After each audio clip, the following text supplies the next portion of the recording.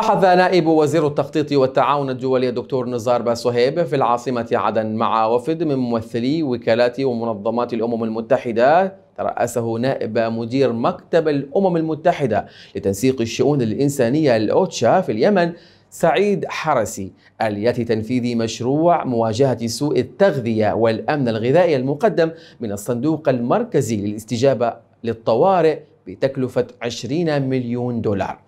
وفي سياق منفصل بحث نائب وزير التخطيط الدكتور نزار باصهيب مع المدير الجديد لمنظمة مسلم هاندرز في اليمن سيد محمد كاظم. مستوى جهود المنظمة في تنفيذ مشاريعها وبمقدمتها مشروع الأفران الخيرية المجانية الذي تنفذه حاليا بمحافظات عدن ومأرب وحضرموت ويستهدف خمسين ألف نسمة من فئات الأيتام والأرامل وكبار السن وذوي الإعاقة. كما ناقش نائب وزير التخطيط الدكتور باصهيب خلال لقائه في عدن اليوم مع مدير منظمة جون سينو في اليمن أريك أوجارا مستوى تدخلات المنظمة في مجالات التعافي والرعاية الصحية بمحافظات عدن وتعز ولحج وحضرموت وأيضا بحث نائب وزير التخطيط والتعاون الدولي مع المدير الجديد لمنظمة التكافل الدولي في اليمن دانييل ريجازي الخطط المستقبلية للمنظمة المقرر تنفيذها